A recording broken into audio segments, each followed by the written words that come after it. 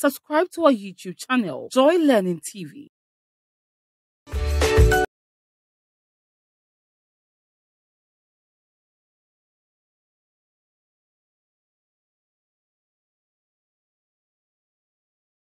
Welcome to junior high school uh, on Joy Learning TV. It is RME time, and today we are going to have another interesting RME lesson for JHS2. My name is Rachael Uswampoma, and I'll be your facilitator. Our topic is religious personalities. We are looking at religious personalities, and our subtopic is religious leaders. Let's look at our lesson objective. By the end of the lesson, the people will be able to explain religious leaders. Religious leaders. And two, know the classification of religious leaders. And three, discuss the life of Abraham. These are our lesson objectives for our lesson today. Our keywords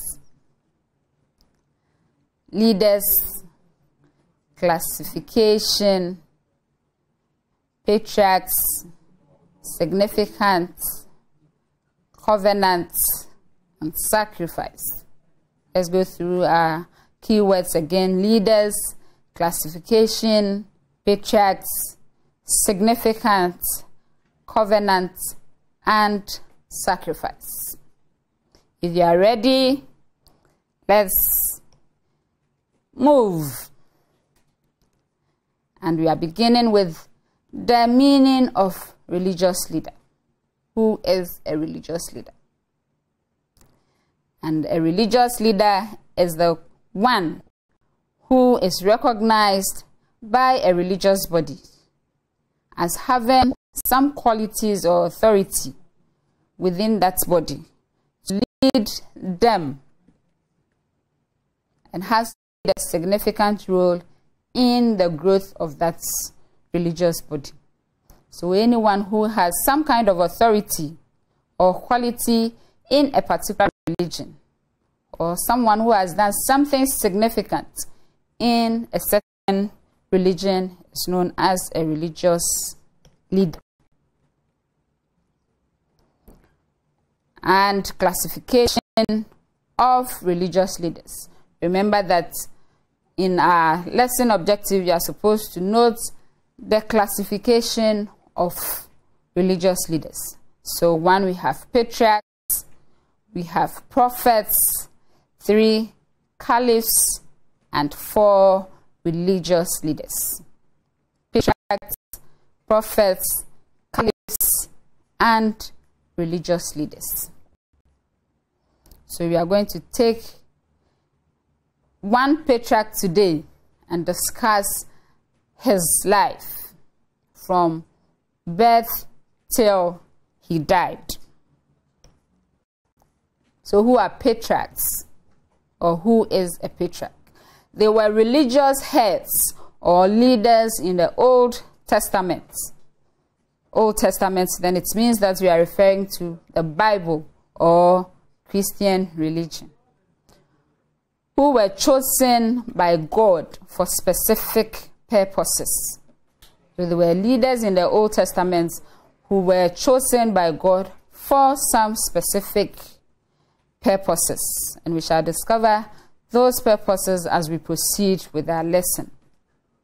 So, individuals in the Bible who were referred to as patriarchs include Abraham, Isaac, Jacob, and Joseph.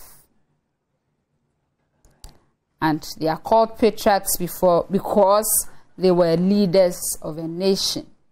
They, were, they are called patriarchs because they were leaders of nations. So we are going to look at the life of one patriarch today. And there's a picture on your screen. Can you identify this person? From the Old Testament. Okay, so I'll give you some clues. He had a covenant with God. That is clue number one. He had a covenant with God. I'm giving you the second one. He is called the father of faith. That's my second clue. Are you getting close? Okay. Let me give the third one. I'm sure some people have figured out what answer I want. For those who haven't gotten the answer or the name of this individual on your screens, I'm giving the last clue. God asked him to sacrifice his son. Yes.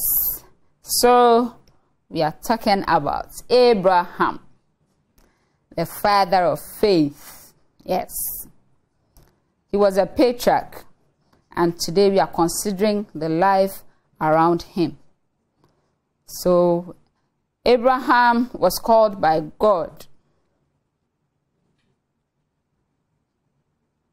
He was called by God, and everything we are going to discuss about Abraham can be seen in Genesis chapter 12 to chapter 25 from the Holy Bible. So, altogether, Abraham lived 175 years. So, we are going to discuss the life around him. So, the call of Abraham. He was born in Ur of the Chaldeans and do you know his father's name? Abraham's father. Yes, his father's name was Terah. Good. So he spent most of his life in the land of Canaan. You know why? He was born in Ur, but he spent most of his life in Canaan. You know why? I'm sure some people know the answer. We will discover that as we go through our lesson. So the picture of Canaan displayed beautifully on your screens. Then Abraham was called by God to leave his country, his kindred, and his father's house to Canaan. So, this is the reason why the previous slide says that he lived most of his life in Canaan because God commanded him to leave the place of his birth and go to Canaan. So God spoke to him to leave everything he had behind and go to Canaan. So at age 75, he obeyed God and left. He left together with his, with his wife Sarah and his nephew Lot. He left for Canaan. And they passed through the land to a place called Shechem, where the Lord appeared to Abraham and promised to give the land to his descendants. So, whilst there, the Lord appeared to him again and promised to give the land to his descendants. And there Abraham built an altar for the Lord because that was where God made the promise to him.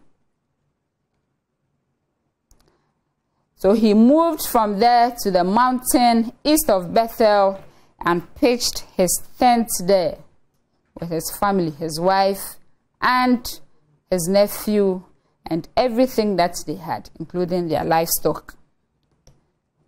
They pitched their tents there.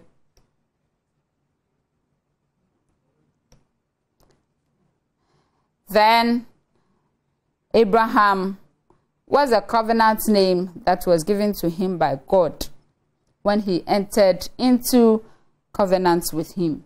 So when Abraham entered into a covenant with God, his name was changed to Abraham. So what was his previous name? Do you remember? We'll find out if you can't. Yes, so we are here. So his name was changed from Abram to Abraham after he had a covenant with God. And Abraham means father of many nations. Father of many nations. So his name was changed from Abram to Abraham, meaning father of many nations. Then his wife's name was also changed from Sarai, which means princess or my princess, to Sarah, which means mother of nations. So Abraham's was changed to father of many nations, and Sarah's was changed to mother of nations. Good. Now let's look at the covenant that was made between God and Abraham. So, what is a covenant? An agreement between two people or two parties, which is usually sealed with blood. Yes, any agreement that was made between two people or two parties and sealed with blood in the Old Testament was referred to as a covenant. So when God called Abraham, he made a covenant with him. And remember, it was then that he changed his name. So God promised Abraham many descendants who will become a great nation. And he was promised divine protection and guidance by God. Then, five, the land of Canaan will be given to him and his descendants to bless those who bless Abraham and curse those who curse him. So, in the covenant, God told Abraham that he will bless those who bless him and curse those who curse him. And then God changed his name to Abraham, which means father of many nations.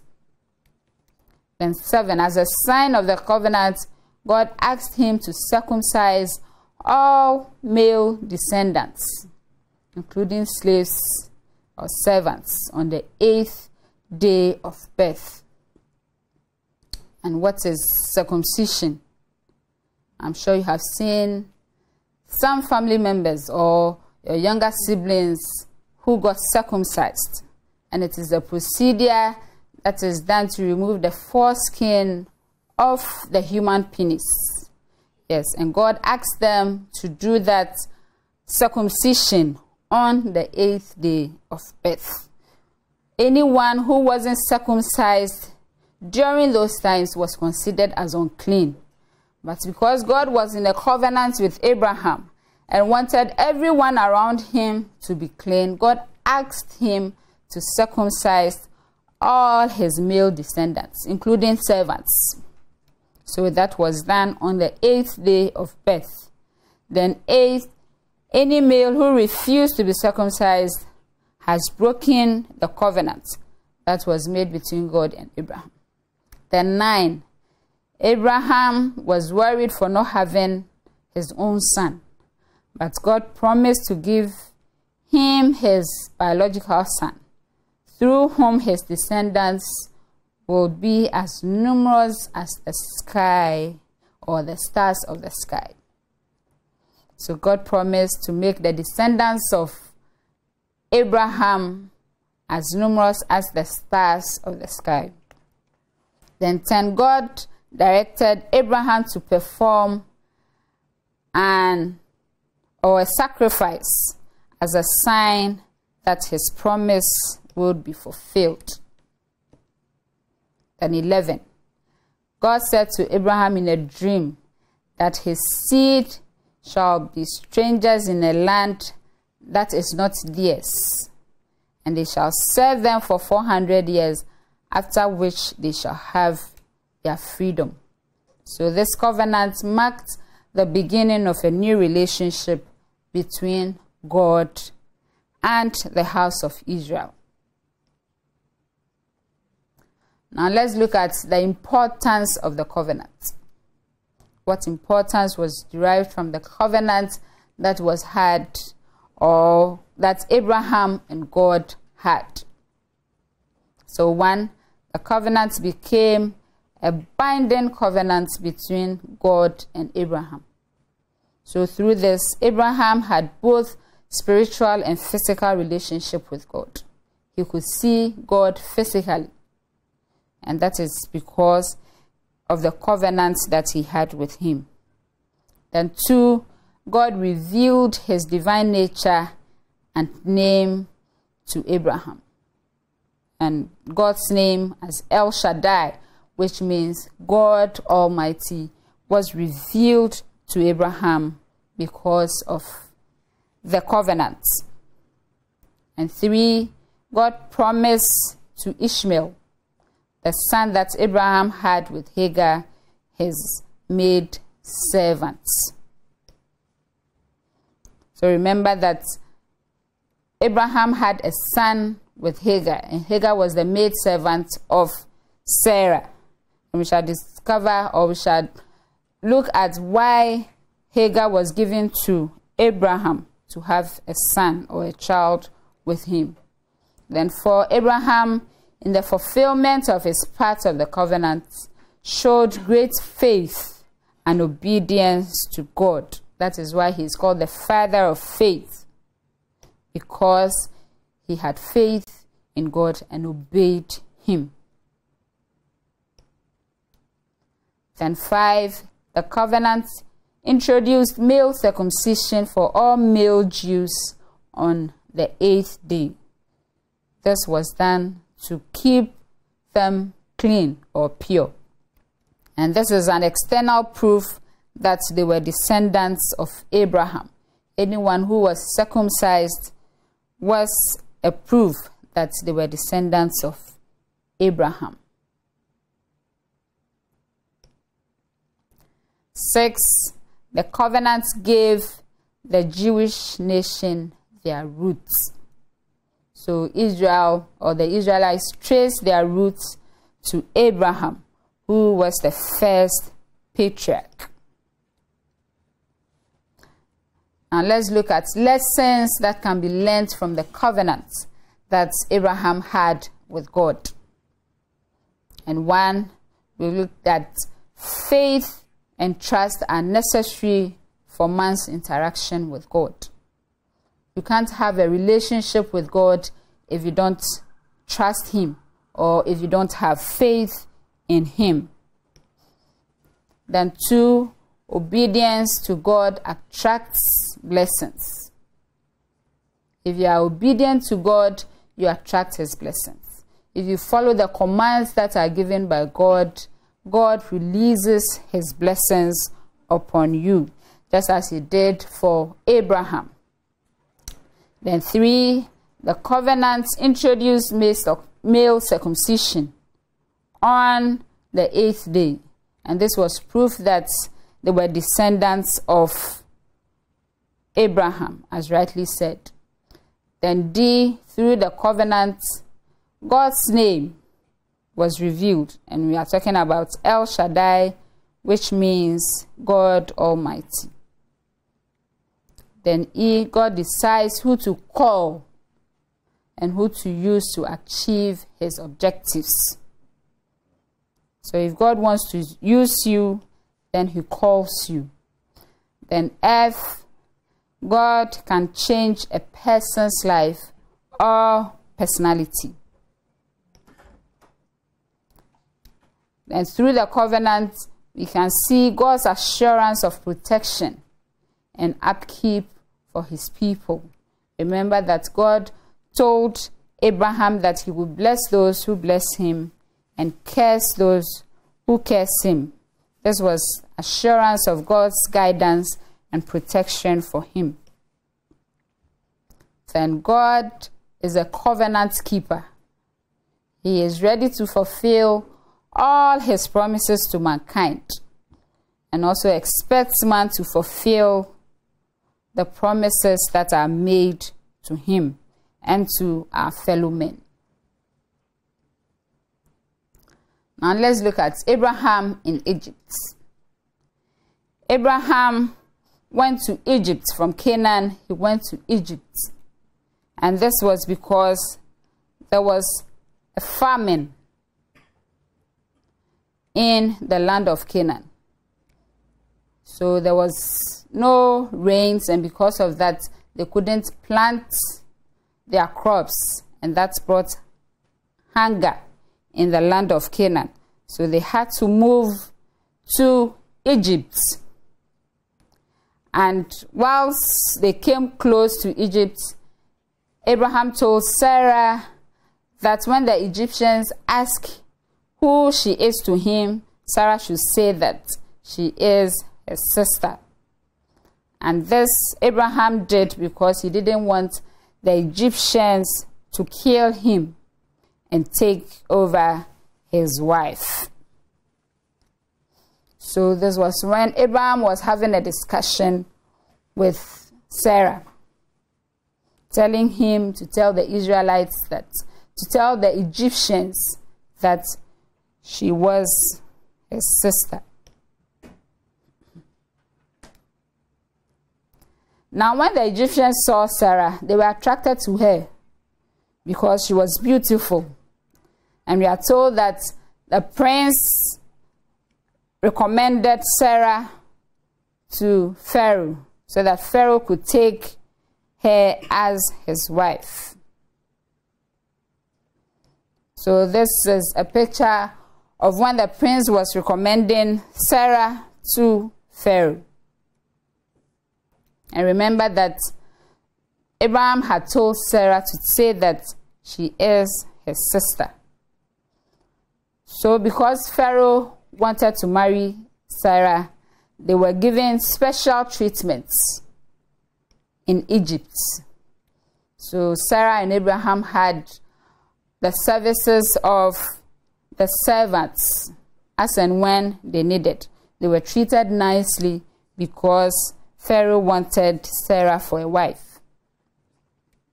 Now, God was not happy with what Pharaoh did. And so he decided to bring a plague on Egypt for taking another man's wife. Even though Pharaoh didn't know that Sarah was married, he was indirectly committing adultery because Sarah was already married. So God brought the plagues on Egypt. And the first plague was that Nile turned into blood. Can you imagine swimming in a river and suddenly it turns into blood?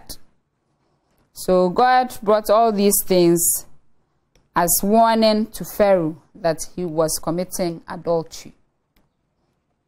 The second plague Frogs came from the river to people's homes.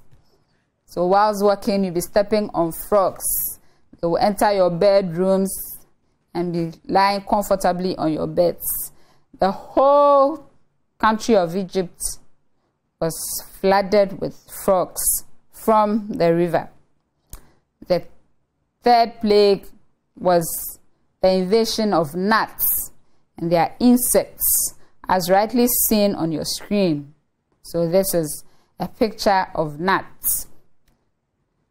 They came into Egypt and they were everywhere. The fourth plague was flies. So there were so many flies all over Egypt. Then the fifth plague was the death of livestock people's cattle and sheep were dying because of the plague. And sixth, there were boils on people. Boils. And the seventh plague was hail, and hail is pellets of frozen rain. So the rain that was falling was frozen. And eight is the locust infestation. So lots of locusts disturbing people and disturbing and um, destroying crops as well. then the, ni- the ninth plague, there was total darkness in the whole of Egypt. And the third one, the tenth one is the death of Pharaoh's firstborn son. So God brought all these on Pharaoh as punishment for taking someone's wife. Then, after being queried for the truth, whilst Pharaoh was experiencing all these things in his town, he knew that there was something wrong. So, after a series of consultations, he realized where the problem was coming from. So, he called Pharaoh and questioned him.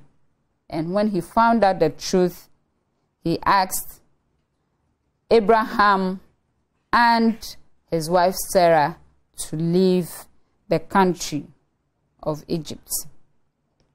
So, with everything that was given them, Pharaoh gave Abraham lots of property or lots of wealth, including animals, because he wanted Sarah for a wife, including maid servants.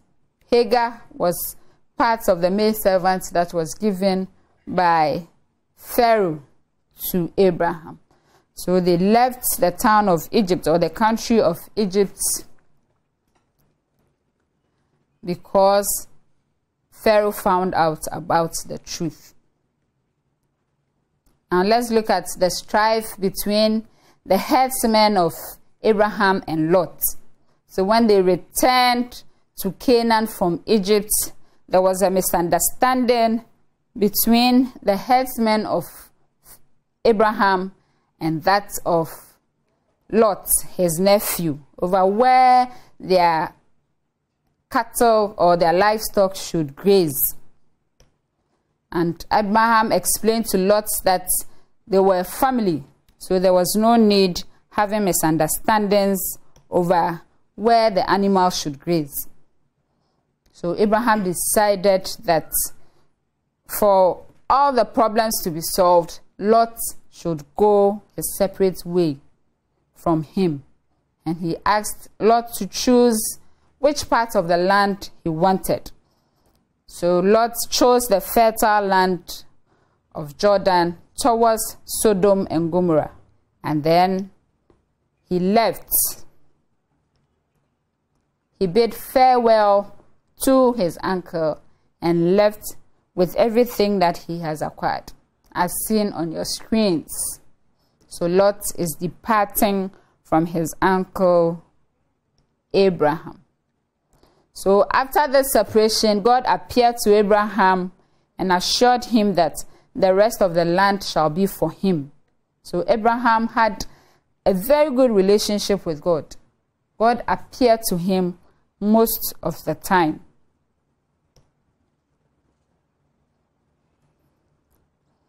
And let's look at the birth of Isaac. Remember that God had promised Abraham earlier that he will make him the father of many nations, as his name depicts. So, the birth of Isaac. As a result of Sarah's barrenness, she asked Abraham to give Hagar. Hagar was one of the servants that was given by Pharaoh to Abraham so that he would have a child with her. So Sarah recommended Hagar for, for Abraham, and Abraham had a son with Hagar, and his name was Ishmael. Yes, his name was Ishmael. But after some time, Hagar started misbehaving and showing disrespect to Sarah because she had a child, but Sarah didn't have a child. So Sarah told Abraham to let Hagar go away from their home. So, as seen on your screens, Hagar and his son Ishmael were driven out of Sarah's home. Then God appeared to Abraham again. This time, he appeared in the form of three men. And Abraham showed kindness to these three men by washing their feet and providing them with food and milk. And they promised Abraham that Sarah would conceive and give birth to a son. So, this is the picture of God appearing to Abraham in the form of the three men. And they, Abraham showed kindness to them by washing their feet and providing them with food and milk. So when Sarah was 90 years and Abraham was 100 years, they had a son. And we can see the joy on Abraham's face from this picture on your screen. Abraham finally has a son, the son that was promised by God through the three men that appeared to him. Now let's look at how God tested Abraham. God tested Abraham's faith by asking him to offer his son, Isaac, as a burnt offering to him. What would you have done if you were in Abraham's position, would you have done that? Would you have sacrificed your only son? Or you would have pleaded with God to change his mind? But Abraham obeyed and went searching for where God had told him to make the sacrifice. So after three days, he found the place and decided to take his son along. So they carried sticks because they were going to burn Isaac as offering. So you needed sticks to set the fire. And they got there. Abraham raised the altar, placed the sticks on them, and was ready to offer Isaac a sacrifice. Then he heard the voice of God. God, through an angel, appeared to him and told him not to sacrifice his son. And just when Abraham turned, he saw a lamb that God had provided for the sacrifice. Remember that God was just testing Abraham's faith. So Abraham named the place Jehovah Jireh, which means the Lord will provide. Because God provided the lamb for the sacrifice. So Abraham was called the father of faith after this incident where he agreed to offer his son Isaac as a burnt offering to God. I will conclude with the death of Abraham. The death of Abraham. We learned that Abraham worked faithfully with God and died at the age of 175. Wow, this is amazing. 175 people those days were living long as compared to these days. So Abraham lived 175 years before he died. Good. Now let's look at the moral lessons from the life of Abraham. To everything that we have discussed, what moral lessons are we learning from the life of Abraham? And one, Abraham was obedient to God and worked faithfully with him. Abraham obeyed everything that God said, including sacrificing his son, Isaac. Then Abraham trusted God and depended on him for all his needs. Remember that during the time he was supposed to sacrifice his son, God provided a lamb. And so we can also learn from Abraham by depending solely on God to provide all our needs. And three, God blessed Abraham with wealth, yet he did not allow it to override his humility. Abraham was very rich. He had everything at his disposal servants, animals, everything. Yet he was humble to God. And for Abraham was peaceful. So he resolved the conflict between him and Lot. Remember that the herdsmen had some confrontations, but Abraham resolved it amicably because he was a peaceful person. And we can also learn to remain at peace with everybody. Our siblings at home, at school, we must learn to live at peace with our friends. We shouldn't instigate people to fight. It's a bad attitude. We should learn to be peaceful like Abraham. Then, five, Abraham had faith and was ready to sacrifice his son to God. He had lots of faith, and so he was willing to sacrifice his son to God. Now, our lesson for assessments. Who is a religious leader? Who is a religious leader? Remember, it is part of our objectives who is a religious leader. And a religious leader is someone who is recognized by a religious body as having some qualities or authority. So that is a religious leader. Then, two, mention the classification of religious leaders. Mention the classification of religious leaders.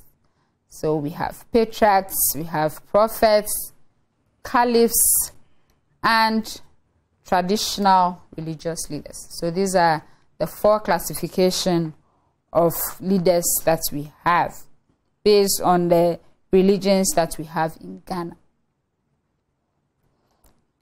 Now it's time for our assessment, our assignment, sorry, it's time for our assignments. And let's write these questions down quickly. One, briefly describe the call of Abraham. Describe the call of Abraham. And two, mention any five of the ten plagues. Three, state Three moral lessons from the life of Abraham. States three moral lessons from the life of Abraham. I'm repeating the questions. One, briefly describe the call of Abraham. Two, mention any five of the ten plagues, any five of them. Then three, state three moral lessons from the life of Abraham. If you have written down these questions or taken shots of them, take time to answer them and submit them to at Joy Learning TV on YouTube. At Joy Learning TV on YouTube and Facebook. Let's quickly go through our lesson for today to remind ourselves of what we did. So we discussed the call of Abraham and the covenant that God made with Abraham. And we also discussed the importance of Abraham's covenant and four lessons that were learnt from the covenant that God had with Abraham. We also looked at Abraham in Egypt as a result of the famine in Canaan. Then the strife between the herdsmen of Abraham and Lot. And then we looked at the birth of Isaac and how God tested Abraham's faith by asking him to sacrifice his son. We are done with our lesson. I hope that you enjoy them.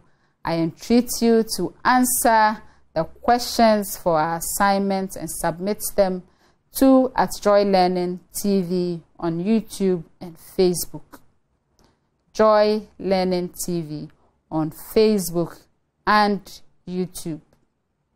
So we meet again for a different topic. It is a bye bye for me.